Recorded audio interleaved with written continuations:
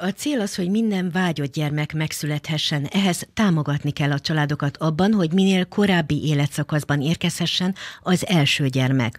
Az optimizmus a kincs felmérése szerint megvan. A fiatalok kétharmada optimista a 2023-as esztendőt illetően. Nagyon sok szeretettel köszöntöm Fűrész Tündét, a kincs elnökét. Szerbusz, köszönöm, hogy eljöttél, hiszen nagyon sok mindenről fogunk beszélgetni az előttünk álló percekben. Szerbusz, köszönöm, hogy itt lehetek. Hát akkor kezdjük a felméréssel. Először mit várnak a fiatalok a jövőtől? Tavaly decemberben végeztünk egy kutatást, és egy reprezentatív mintán megkérdeztük a magyarokat, hogy mit várnak a 2023-as évtől. Ugye ez azért is különösen érdekes, hiszen nem vagyunk egy könnyű helyzetben, már tavaly se voltunk, és hát izgal, izgatottan vártuk, hogy vajon mit gondolnak 2023-ról. Alapvetően azt láttuk, hogy nagyjából az emberek fele az, aki, aki alapvetően inkább optimista, a fiatalok körében még többen, ami talán életkori sajátosság is, nagyjából a fiatalok kétharmada mondta azt, hogy, hogy optimistán tekint a 2023-as év elé.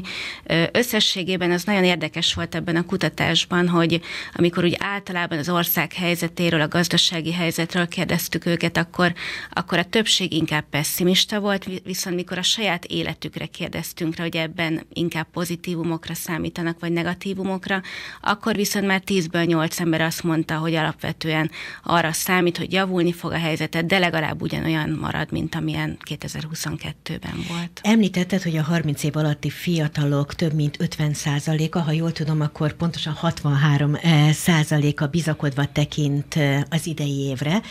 Tehát adódik a kérdés, hogy a felmaradó 37 százalék, közel 40 százalék mitől tart?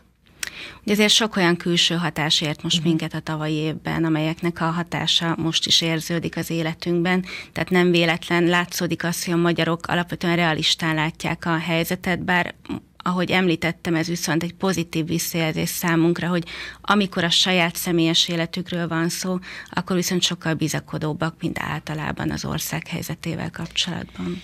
Um Bizonyára, hogy te is érzékeled, hogy a fiatalokat sokszor bántják azzal, hogy, hogy egoisták, hogy nem foglalkoznak a körülöttük lévő világgal. Hát erre is rákérdeztetek, tehát kiderült az, hogy a fiatalokat érdekli-e, hogy mi történik a környezetükben, a tágabb környezetükben, mennyire követik a körülöttünk lévő világ történéseit. Mit válaszoltak erre a kérdésre?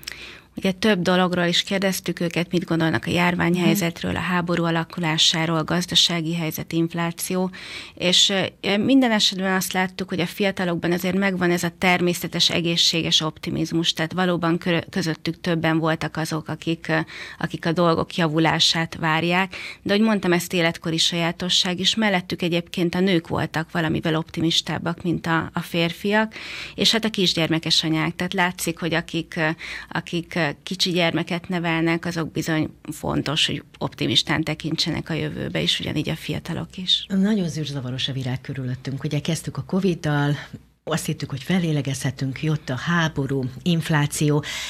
Ebben a helyzetben a stabilitást a fiatalok honnan várják?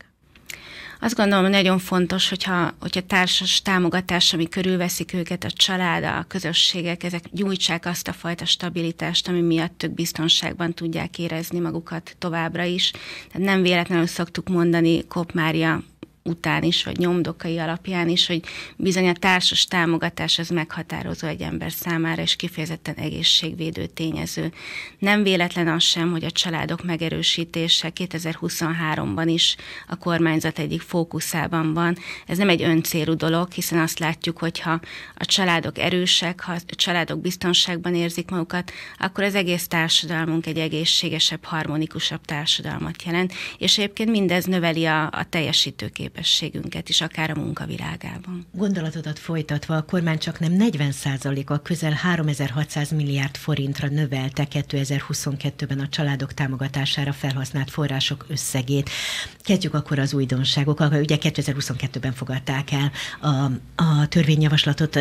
Mennyire segítheti a gyermekek megszületését a 30 év alatti gyermeket vállaló nők személyi jövedelemadómentesség? Azt gondolom, hogy ez a legfontosabb dolog talán a csomag cocktail?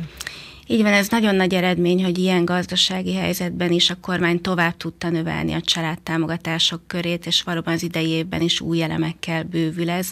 Az idei évben fókuszba kerülnek a 30 év alatti uh-huh. fiatalok, hiszen most már hosszú évek óta látjuk azt, hogy a gyermekvállalásnak az időpontja az kitolódik.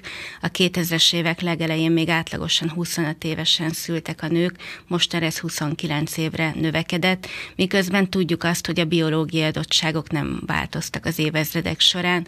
A 20-as éveikben tekinthetők legtermékenyebbeknek a nők is, egyébként a férfiak is, és hát nem, és hát szeretnénk azt, hogy megszülessenek a testvérek is, hogyha már a 20-as években születnek gyermekek, akkor sokkal nagyobb az esély arra, hogy majd testvére is lesz ezeknek a gyerekeknek. Ez az oka, hogy éppen 30 évnél húzták meg a határt?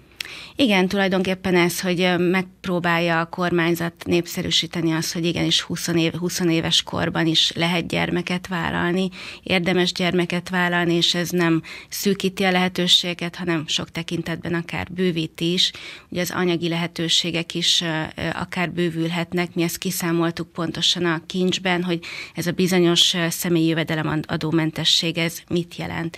Ugye itt gondolhatnánk azt, hogy ez csak a munkabére vonatkozik, de hát szó nincs erről, hiszen a gyermekgondozási ellátások, a csecsemőgondozási díj, illetve a gyermekgondozási díjnak a nettó összege is jelentősen nő emiatt, hogy SZIA-mentességet élveznek a fiatal édesanyák. Ugye maga az SZIA-mentesség nem új keletű dolog, hiszen az adórendszeren belül ilyen kedvezmény már élveztek különböző korcsoportok, elevenítsük fel, hogy kinek szól a kedvezmény.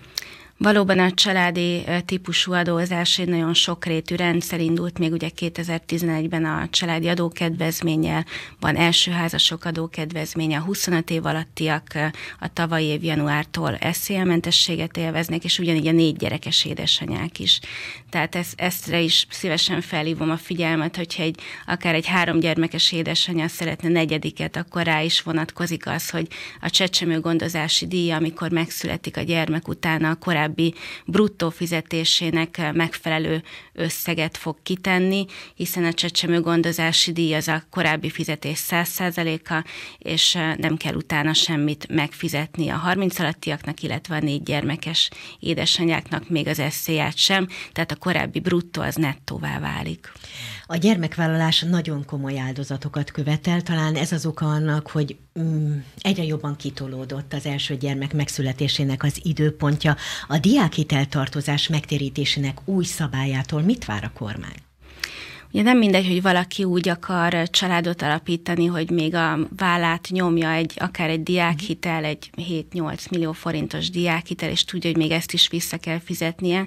Nem véletlen tehát, hogy az idei évtől lehetőség van arra, hogyha egy édesanyának megszületik a gyermeke, akár az egyetemi évek alatt, hiszen erre is látunk példát, hogy már egymást megtalálták az egyetem alatt a, a párok, és akár gyermekben is gondolkozhatnak, vagy a végzést követő két éven belül, akkor ezt a teljes diákhitel összeget ezt eltörje a kormány. A babavárott támogatás ugyanazokkal a feltételekkel működik tovább?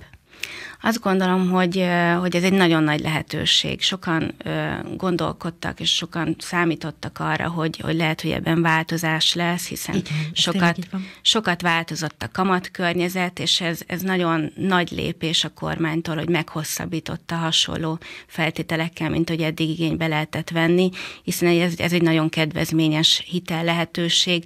Ha megszületik az első gyermek, akkor rögtön kamatmentes kölcsönné válik ez a hitel, aztán, hogyha megszületik a második gyermek, akkor elengedik a 30%-át, és amikor a harmadik, akkor pedig egy az egyben támogatássá alakul.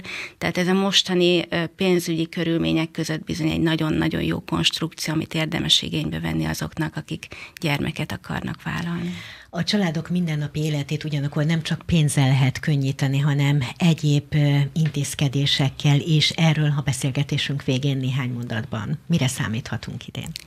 Igen, a családpolitika rendszere ez egy, ez egy egymásra épülő rendszer, számos eleme van, és a pénzügyi elemeken túl, a családtámogatási elemeken túl nagyon sok lehetőséget biztosít, amelyeknek mind-mind az a feladata, hogy megkönnyítsék a gyermeknevelést. Ilyen például a bölcsödei rendszer, a Magyarországon ingyenes és egyébként nagyon magas színvonalú óvoda, vagy például a, pótszaba, a gyermekek után járó pótszabadságoknak a rendszere, apaszabadság, és még hosszan sorolhatnánk vannak, hogy ingyenes étkezés a gyermekeknek, akik rászorulók az iskolában, az ingyenes tankönyvek, ami ugyancsak régen nem így volt. Tehát nagyon sok olyan lehetőség van, amely, amely segít abban, hogy, hogy a szülők minél inkább össze tudják egyeztetni a munkát és a családi kötelezettségeiket. Nagyon köszönöm, hogy itt voltál. Az elmúlt percben Fűrész Tündével, a kincselnökével beszélgettünk.